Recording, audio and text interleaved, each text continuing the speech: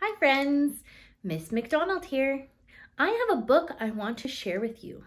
This is called Lailah's Lunchbox, a Ramadan story. Lailah's Lunchbox, a Ramadan story. It was written by Reem Faruqi and illustrations by Lea Lyon. If you're not sure what Ramadan is, this story will help you understand it a little bit. We won't be needing this for a while, said Lailah's mother, hanging up Lailah's lunchbox. Imagine, I won't be eating lunch for a month, replied Lailah with a twirl. I won't have to pack lunch for a month, said her mom with a bigger twirl. The year before, Lailah had wanted to fast with her best friends, Hend and Ishrat, during Ramadan, but Lailah's mom had insisted she was too small. Remembering that, Lailah stopped twirling. She missed her friends. Moving from one continent to another had been hard. On the map in her atlas, North America and the Middle East were 10 inches apart, but in real life, she was so much farther away. She wished she was only 10 inches away from Hend and Ishrat, she knew the sign by the highway said Peachtree City. You'll love to call it home. But she didn't agree with the sign. Abu Dhabi still felt like her home. The next morning, before sunrise, Lailah's mom gently nudged her. Lailah, she whispered, Sari time.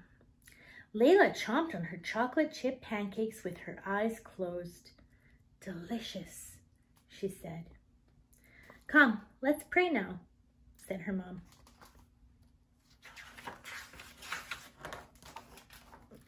After Sari, Lailah snuggled back into her bed until her mom woke her up again, this time for school. As she left the house, her mom handed her a note. Lailah, please give this note to Mrs. Pensworth. Without her lunchbox to carry, her fingers felt extra free and swingy. She felt so light, she skipped to the school bus stop. On the school bus, she read her mom's note. Dear Mrs. Pensworth, this will be Lailah's first time fasting for the month of Ramadan. She is, so it is an exciting time for us. Please excuse Lailah from lunch for this special month. Thanks, Mrs. Malik. Lailah didn't feel so bouncy anymore. What if Mrs. Pensworth didn't know about Ramadan? No one else would be fasting with her. She folded the note into a teeny tiny square and hid it in her book bag.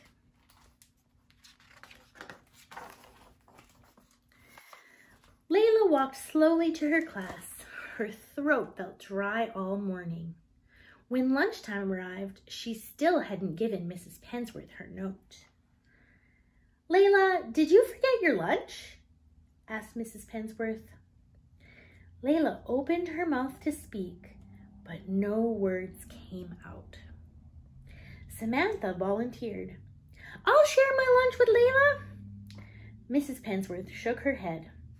Thank you for the offer, Samantha. But Lailah, please get a sandwich from the cafeteria. Lailah followed her classmates to the cafeteria.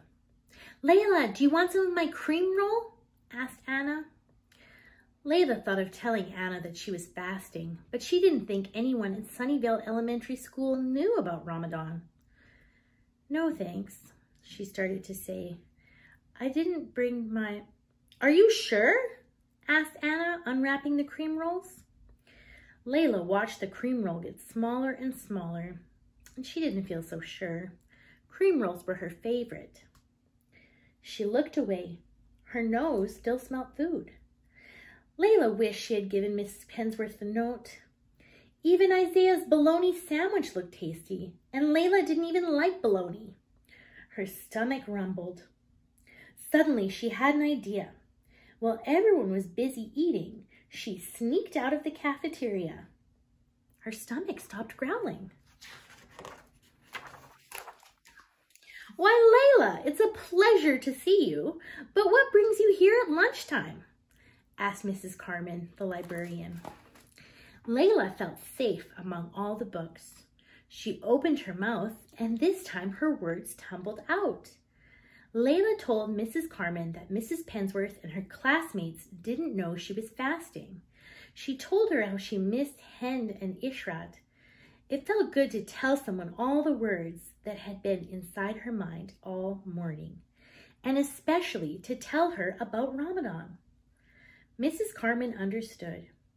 You must feel so special to fast this Ramadan, said the librarian with a smile. I do, said Lailah. But why is it so hard to explain?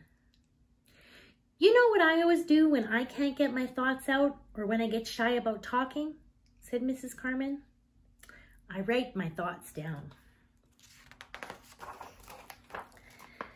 Lailah got to work. She wrote neatly, adding extra loops to her capital L.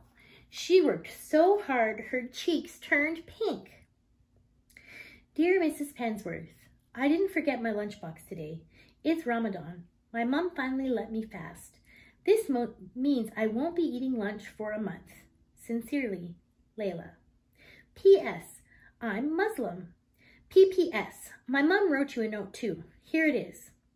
P.P.P.S. Here's a poem I wrote about Ramadan. Ramadan is a month Muslims celebrate, a time to count our blessings and appreciate. Muslims fast before sunrise to sunset. But wait, that's not all just yet. Ramadan is a time for lots of prayer. We help the poor people to show we care. So in the day, I won't be eating any food, but hopefully will stay in a good mood. Lailah hurried back to the cafeteria to join her class. Before school was out, she quietly dropped both notes onto Mrs. Pensworth's desk. The next morning, Lailah swung her fingers as she waited for the school bus. Would Mrs. Pensworth like her poem? Lailah hoped Mrs. Pensworth would, wouldn't think she had forgotten her lunchbox again. She slowly climbed each step on the school bus. In class, Mrs. Pensworth didn't say anything, so Lailah wondered what had happened. At times like this, she wished Hend and Ishrat were there with her.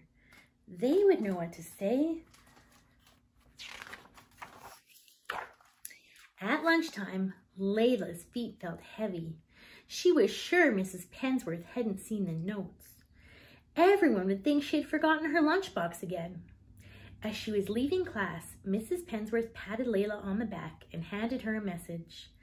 Mrs. Pensworth had made her capital L in Lailah's name extra loopy.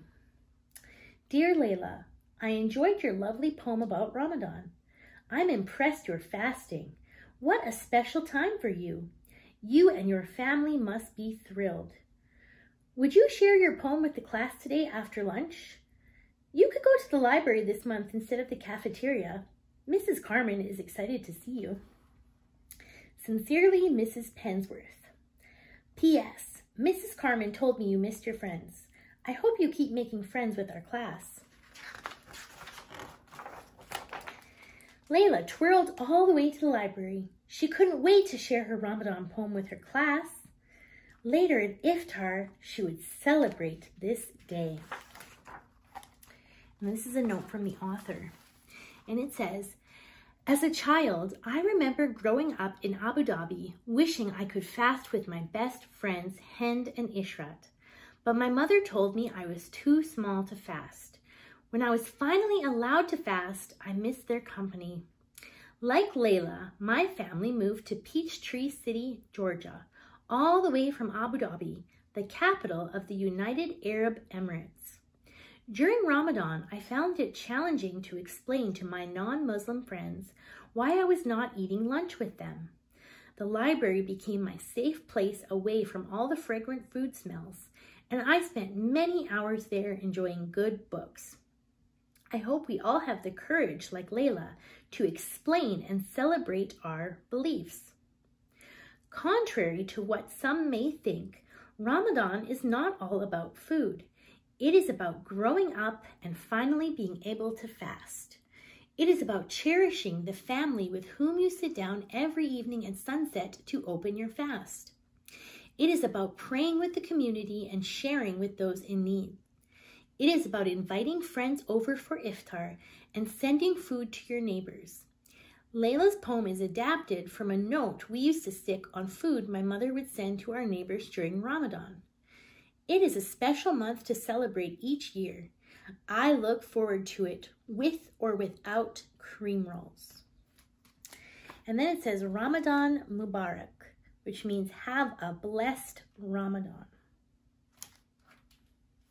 There's a picture of her eating at the end there.